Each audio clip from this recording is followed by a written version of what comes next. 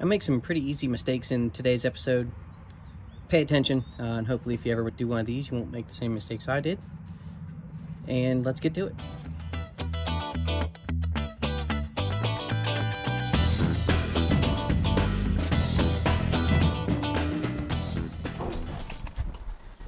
Before we put this axle back in the side, or before we start doing anything that involves that, I'm going to go ahead and replace the wheel seal. That's why I didn't worry about it with the brakes, because we weren't to that step yet. They do make tools for this, but on these that you can get to them, pry bar works just fine.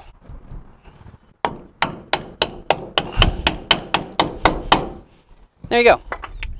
This side gear, which is splined in the middle, splined onto the axle. The new side gear is also splined onto the axle, same number of teeth. And we kept these side to side the same because I need to reuse the shim. So this is the driver's side, driver's side shim. Let's go ahead and spin this where I can get to things. Oh. Spin the drive shaft helps a little bit. There we go. So this is, goes in here.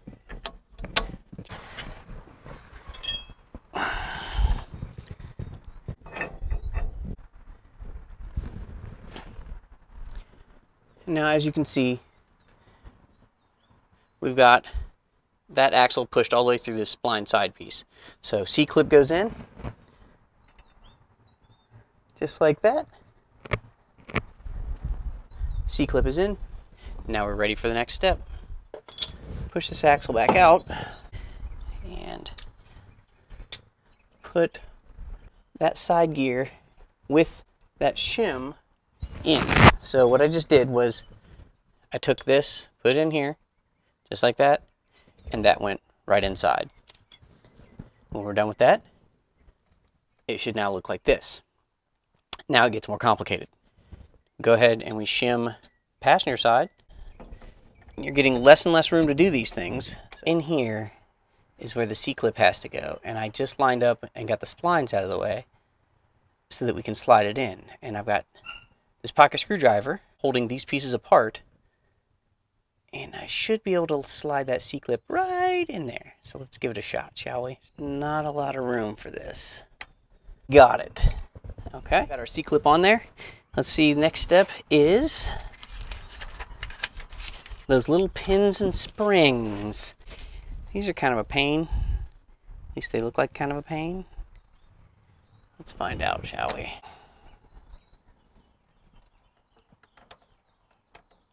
Hmm. Yes, well. Alrighty. There's one mistake already. I'll show you in a minute. Oh, I got to move to start.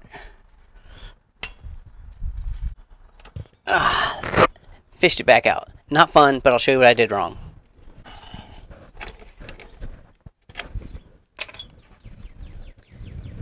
These pins have to go into the long side hole.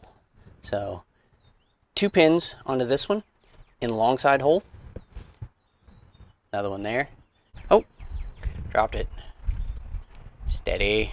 Okay, so two pins on that one and two pins have to go into this one on this side. Same thing, long side holes. Okay, one and two. Okay. Now we're ready to go back to where we were a couple minutes ago, sliding this piece in. And C-clipping it again. Get the C-clip slot to be over here. There we go. Anything like that will do. Oh man. Okay. Ah, again, missing, missing, missing the mark. Almost forgot that.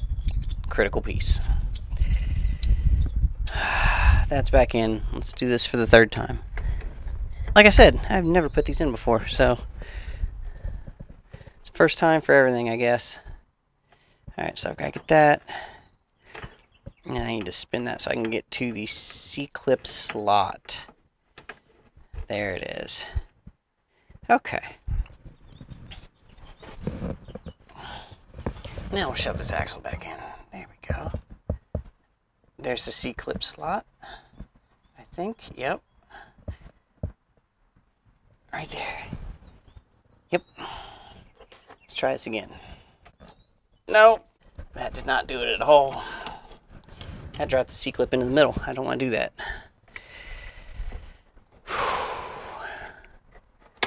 It's frustrating sometimes, isn't it?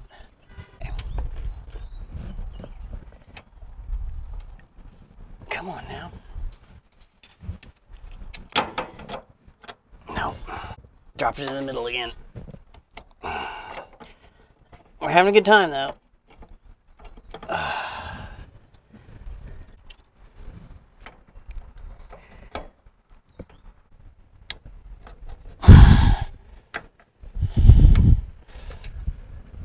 Okay. And turn it to the C-clip slot, which is there. And I need to get a good look at this axle while I'm doing this. That C-clip goes right there. Yep. Dropped right in that time. Okay. Pull that axle back out. C-clip is in. Now comes another difficult part. Is getting everything where it's supposed to be here. I've got to get that pin to go across here and into this slot. There we go. Just like that. And then I'll put one spring in. And this is not easy, is it? I'll show you up close here as soon as I get this spring to go in. Okay, come look. So you have both sides on now, and they are lined up, and the pin that was on this side, we push over to here, and then this spring keeps tension on it right there. And now I have three more of those to do. It's really, really fun.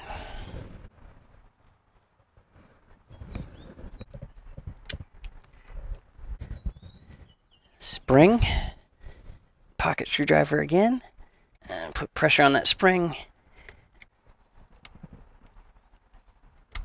Okay, it's two. Two to go. Push that pin over. Spring. Three pins, one to go. Turn this axle last time. Fourth pin shows up. Push that pin across. Last spring.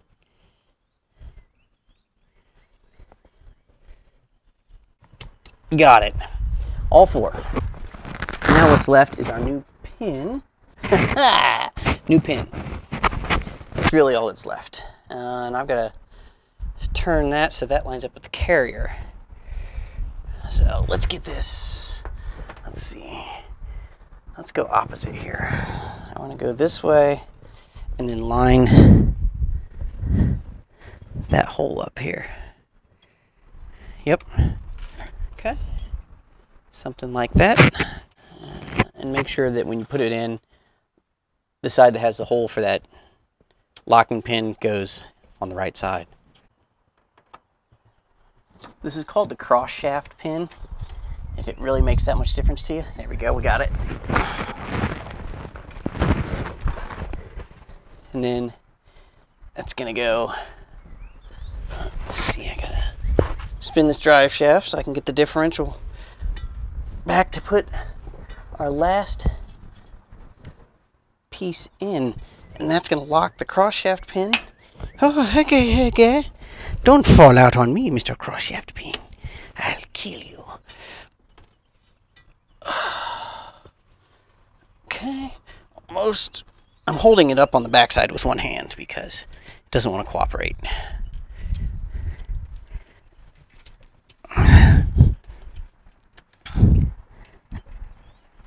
Oh, there we go. All we're doing is putting our cross shaft locking pin in place. Then it's just a matter of throwing the differential cover on and filling this thing up with fluid, which, by the way, with a liberal application of heat and a half inch breaker bar, I was able to get the fill plug out. So that's good. I don't have to do any sort of weird funky things to the diff cover. Ah, that's on there. We've got a locking differential, lunchbox locker installed. So now, oh yeah, yep, yeah, yeah, definitely. Both wheels turning in the same direction. That's what we wanted. Okay, I'm gonna take a little bit of break, and when we come back, we'll see all this up filled up. See ya. One of the few things left to do, uh, like I mentioned out at the truck, is to put the diff cover back on and fill it up with fluid. So I have cleaned all the old fluid off of this. I went over to the bench grinder and got all the old material off of it. They do make a gasket for it, and if you want to get the paper gasket, that's perfectly fine. This one, it appears all they used was like ultra blue maybe to seal it up, and it was perfectly dry. So I've got ultra black. I'm just gonna go the sealant route and skip the gasket altogether. So let's go ahead and put some on here and then we'll spread it all out. And then we'll put it on the truck and do not fill it up with fluid right away. Go ahead and give it whatever it says on the back of your sealant to cure it probably at least an hour uh, before you want to go back and double check these bolts and then also add the fluid. So the only thing on here is this larger indented side, obviously, goes where the ring gear is. Other than that, it's pretty simple. So let's hold that in place. I'll get the first bolt on. And maybe another one just so nothing moves around too much on us. There we go. That'll hold that up.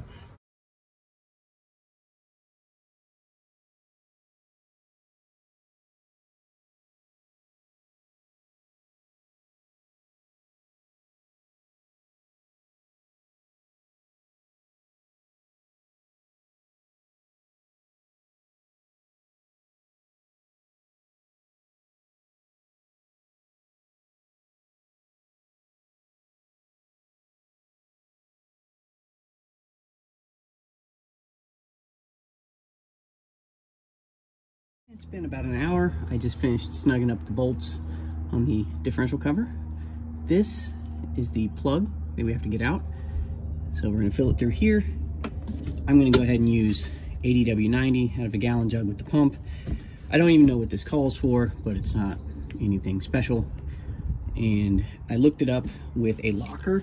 You do not need any added friction fluid additive like you do with a posi. There's no clutch system. It's still all metal to metal. So all you need is gear oil. You can use the gear oil of your choice brand-wise. I go with what's on sale, and 8090 happen to be on sale. If you have a newer car where maybe it has some sort of electronic locker, anything special, basically if it's under warranty, use what the book says. If it's not under warranty, use what you want. So now all we have to do is take the next half hour to pump this in here. I find it's easier to get the gallon jugs with the pump than use the quart and try to squeeze it in. That's just a pain in the butt to do. So this takes a little bit longer, but ultimately it's going to accomplish the same goal.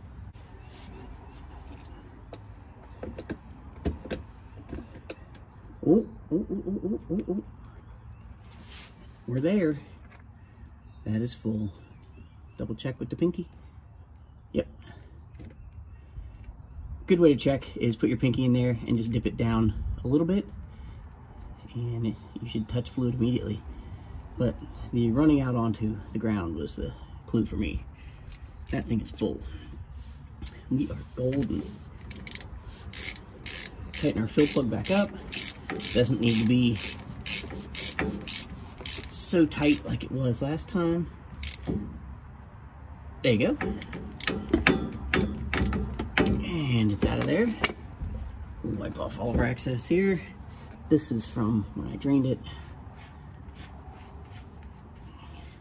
That's gonna do it for today. We've finished up our project. Uh, we've now got a locker installed in the rear to go along with the disc brakes we just put on very recently. This thing should be ready to drive and die on me in a moment's notice, as usual. So, until then, see you next time.